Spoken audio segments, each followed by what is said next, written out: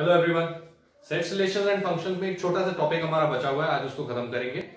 Applications of set theory इस पे based एक क्वेश्चन एग्ज़ाम में आ सकता है, ठीक है? तो एप्लीकेशंस ऑफ़ सेट थ्योरी में करना क्या है? जैसे मतलब application of Venn diagram basically Venn diagram की हेल्प से कैसे क्वेश्चन सॉल्व करने हैं? तो उसमें दो तरीके के क्वेश्चन है। पहला टू सेटर क्वेश्चन हो सकता है, दूसरा three setter two setter question में what is the number of elements in A union B क्या फॉर्मूला होता है? Number of elements in A plus number of elements in B minus number of elements in A intersection B ये अगर आपको याद हो तो वेन डायग्राम में मैंने बताया भी था कि अपने पास अगर ये ए है, ये बी है, ठीक है? ये ए ये बी तो ये हमारा ए इंटरसेक्शन बी हो गया। अब अगर मैं आपसे ये बोलूँ कि ए यूनियन बी यूनियन का मतलब क्या होता है? और और मतलब क्या होता था? जोड़ना। यानी ये सर्कल प्लस ये सर्कल तो अगर मैं इस सर्कल को लूँ तो number of elements in A आ गए। प्लस इस सर्कल को लू तो number of elements in B आ गए। लेकिन ये करते वक्त ये वाला टर्म कितनी बार ऐड हो गया? दो बार। जबकि हमें कितनी बार ऐड करना है? एक बार। तो एक बार इसको माइनस कर दिया। Minus N A intersection B तो this is how you get the formula for a two setter union of sets ठीक है? तो कहीं पे भी अगर आपसे पूछ रहा है यूनियन यूनियन का एक और नाम क्या यूज़ कर सकता है? एटलीस्ट वन यूनियन का मतलब एटलीस्ट वन होता है। अगर कोई बोले कि भाई एटलीस्ट वन ऑफ़ ए और बी होने के कितने वेज हैं? तो इसका मतलब यूनियन निकालना है। ठीक है? अच्छा इसी तरीके से थ्री सेट डायग्राम को भी इसी से समझ सकते हैं। जैसे अगर आपने टू सेट को समझ लिया टू सेट को समझ लिया मतलब सिंगल वाले तो क्या करे आपने? प्लस और डबल वाला आपने क्या करा? माइनस ठीक है? अब यही यही कंटिन्यूटी आपको आगे चलानी है थ्री सेट में। मतलब सिंगल वाले प्लस करोगे N A plus N B plus N C double वाले सब्ट्रैक्ट करोगे A intersection B B intersection C C intersection A तीन तीन डबल वाले हो सकते हैं, तीनों को सब्ट्रैक्ट कर लिया। फिर ट्रिपल वाला भी तो एक हो सकता है, उसको ऐड करेंगे। यानी ऑल्टरनेट प्लस माइनस चलाना है और इंटरसेक्शन लेते जाना है। सिंगल वाले ऐड डबल वाले सब्ट्रैक्ट और ट्रिपल वाला फिर से add this is the formula for A union B union C यानी at least one of A B और सी ठीक है?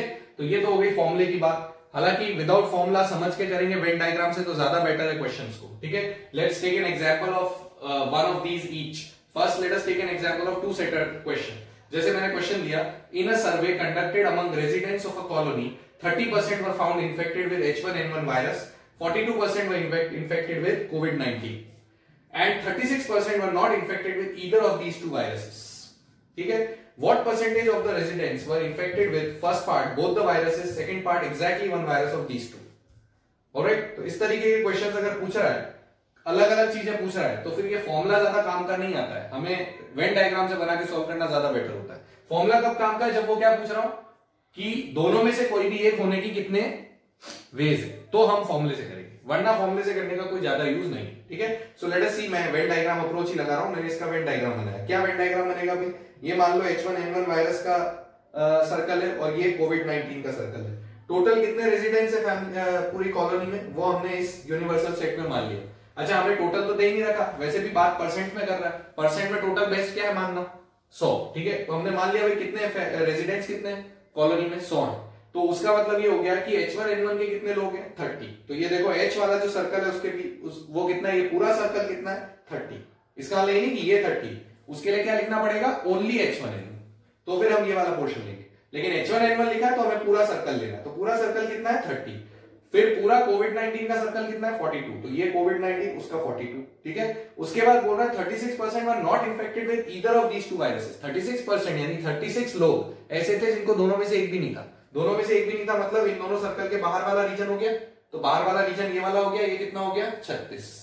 ये चीज़ें दे रखी है हमें क्वेश्चन में। ठीक है। अब पहला क्वेश्चन क्या पूछा है? बोथ द वायरसेस अब बोथ द वायरसेस कौन सा पोर्शन होगा? बीच वाला पोर्शन होगा कि नहीं होगा? इंटरसेक्शन तो इसको आपने क्या मान लिया? X.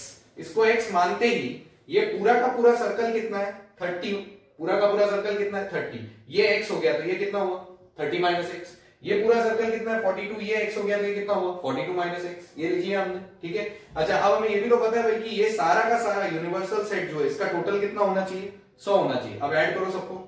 ये 30 minus X plus X plus 42 minus X बराबर 100 माइनस 36 या इसको 36 को भी इधर ही ऐड कर लो, एक ही बात है। बेसिकली इन दोनों सर्कल्स का जो टोटल है, वो क्या होना चाहिए? सौ माइनस 36 क्योंकि 36 लोग तो इन सर्कल्स के बाहर है। तो उन दोनों को मैंने इक्वल कर दिया। इक्वल करते ही देखो सॉल्व करते हैं तो ये देखो, x से x तो कैंसिल हो गया। 30 और बयालीस कितना हो गया? 72 और 100 माइनस थर्टी कितना हो गया? 64 तो यहाँ से मेरे पास क्या आता है? यहाँ से मेरे पास आता है 72 minus x is equal to 64 so what is x equal to? 72 minus 64 जो कि कितना आता है? 8 और एट आने का मतलब सिंस हमने टोटल सौ लिया था तो आंसर आठ आया। इसका मतलब कितना परसेंट हुआ? आठ परसेंट तो बोथ द वायरसेस का आंसर क्या हो गया? एट परसेंट दूसरा पार्ट क्या पूछा? Exactly one virus of these two अब एक्जैक्टली वन का क्या मतलब होता है? कि या तो उसको सिर्फ़ एच वन एन वन हो, या फिर उसको सिर्फ़ कोविड हो। दोनों नहीं होने चाहिए। तो दोनों वाला पोर्शन कौन सा है? ये वाला। इसको हटा के ये वाला हमें लेना है और ये वाला हमें लेना है। लेकिन क्या हमें ये लेना है? नहीं लेना है। ठीक है? एग्जैक्टली वन का मतलब या तो सिर्फ़ ये हो जाए, या फिर सिर्फ़ ये हो जाए। तो हमें ये और ये दोनों को ऐड करना है। उतने लोग होंगे। ठीक है? तो ये कितना हुआ? थर्टी माइनस एक्स और ये कितना हुआ? फोर्टी टू माइनस एक्स दोनों को ऐड किया तो seventy two minus two X X आप ऑलरेडी निकाल चुके कितना था? आठ। आठ इंटू दो सोलह, बहत्तर माइनस सोलह कितना हो गया? फिफ्टी सिक्स तो कितना परसेंट आंसर आया इसका? Fifty six percent so that is how solve question on two sets तो बहुत ऐसे के ऐसे क्वेश्चन आपको सारे दिखने वाले हैं। कभी कुछ ये अननोन दे देगा, कभी ये अननोन दे देगा। कोई भी एक चीज़ अननोन दे देगा। ठीक है? This is how you to approach the problem next let us see question on three sets मैंने बोला out of a total of 500 students in a class 62% pass in accounts 42 41% pass in economics 50% pass in statistics तीन subjects लिए accounts economics statistics पहले तो तीनों का दे दिए। 25% pass in accounts and economics फिर दो दो का लेना चालू कर दिया 16% pass in economics and statistics 22% pass in statistics and accounts If 7% of the total students pass in all the three subjects, how many students pass in? अब चार क्वेश्चन पूछे होंगे। पहला none of these three subjects दूसरा only accounts तीसरा exactly two subjects चौथा only economics and statistics तो इस तरीके के क्वेश्चन पूछ रहा है तो भी क्या बेटर तरीका है? वेन डायग्राम नॉट दिस ये तो सिर्फ़ तब यूज़ करेंगे जब क्या पूछ रहा हो कि at least one of the three subjects तो फिर हम सीधा फॉर्मुले से आंसर कर देंगे ठीक है? So let us again see the Venn diagram for a three setter ऐसा बनेगा वेन डायग्राम थ्री सेटर का। ठीक है? आपके पास एक सर्कल किसका? अकाउंट्स का, एक इकोनॉमिक्स का और एक स्टैटिस्टिक्स का। ठीक है? अकाउंट्स में कितने लोग पास हुए? 62 परसेंट। अब टोटल कितने लोग हैं? 500 और सारा डेटा किसमें दे रखा है? परसेंट में। तो एक तो आप ये कर सकते हो सारे परसेंट को 500 500 का परसेंट निकाल के सॉल्व कर लो कितना हो रहा है।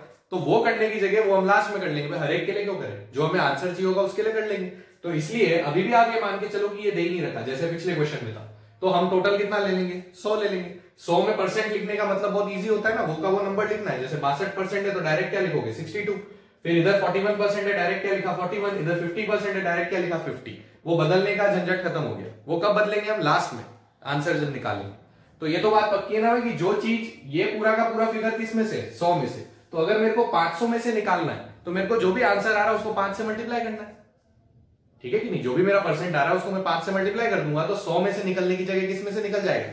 पाँच सौ में से। तो वो हम लास्ट स्टेप पे करेंगे। अच्छा उसके बाद नेक्स्ट स्टेप क्या दिया? 25 percent pass in accounts and economics accounts and economics कौन सा एरिया हुआ? ये वाला हुआ कि नहीं हुआ? ये नहीं हुआ, ठीक है? ये पूरा हुआ। ये पूरा का पूरा एरिया जो इन दोनों सर्कल का इंटरसेक्शन है, वो कितना दे रखा है? पच्चीस। तो ये पूरा का पूरा मैंने ब्लैक में दिखा रखा है, पच्चीस। Similarly 16 percent economic statistics economic statistics कौन सा हुआ? ये पूरा का पूरा। वो कितना हुआ? 16 और सिमिलरली 22 परसेंट क्या हुआ? स्टैटिस्टिक्स और अकाउंट्स ये पूरा कितना हुआ? 22 परसेंट ठीक है? अब नेक्स्ट लाइन क्या बोल रहा है? Seven percent pass in all the three subjects अब एक और डेटा आया हमारे पास कि सात परसेंट ऐसे हैं जो तीनों में पास हुए। तीनों में पास होने वाले लोग कौन से हैं? वो ये वाले लोग हैं कि नहीं, ये बीच वाला छोटा पोर्शन ये कितना दे रखा है हमें? सात। ये बीच वाला जो छोटा पोर्शन है, वो सात दे रखा है। अब इसके साथ आते ही हमारे पास बहुत सारी चीज़ें आ जाती है। पहला तो हमें ये पूरा कितना पता है? पच्चीस। और ये सात है। तो फिर अब इस पच्चीस को मैं यहाँ से हटाता हूँ और यहाँ कितना लिख लेता हूँ? अठारह। पच्चीस माइनस सात अठारह। यानी अब मेरे पास ये अठारह आ गया, ये सात आ गया। ठीक है? फिर ये पूरा कितना था? सोलह। सोलह में से सात उड़ा दो। कितना बचा? नौ। ये नौ हो गया। मतलब अब खाली ये वाला पोर्शन नौ है और ये बाकी का पोर्शन कितना है? सात। ठीक है? सिमिलरली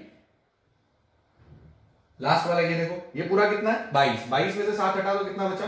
पंद्रह। इसका मतलब ये कितना है मेरे पास? फिफ्टीन और वो मेरा seven so this is what we get now ठीक है? अब क्या हुआ? अब इससे ये भी पिक्चर क्लियर होगी कि यहाँ क्या आएगा। क्योंकि मेरे को इस पूरे सर्कल का टोटल पता है कितना है पूरे सर्कल का टोटल 62 जरा इन तीनों को ऐड करो, कितना आता है? 18 और 7 25 25 और 15 40 62 में से 40 गया, क्या बचा? 22 ठीक है? फिर इधर देखो, इन तीनों को ऐड करो। 18 और 7 25 25 और 9 34 34 को 41 में से माइनस करो, कितना आ गया?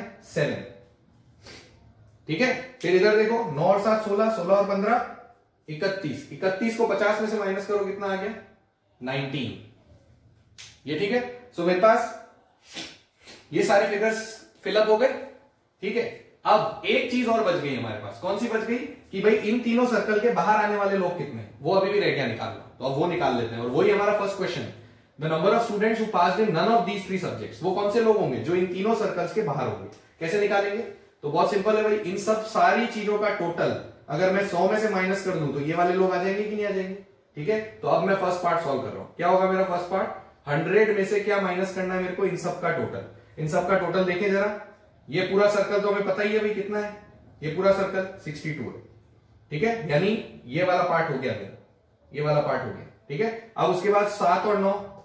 ये जोड़ दू? सात और नौ। और क्या जोड़ना है मेरे को? उन्नीस। अब देखो सब कुछ जुड़ गया कि नहीं जुड़ गया? ये सर्कल तो पूरा ही जोड़ लिया। और ये सात, ये नौ और ये उन्नीस, सब कुछ जुड़ गया तीनों सर्कल अब देखो कितना है सौ माइनस ये कितना हुआ?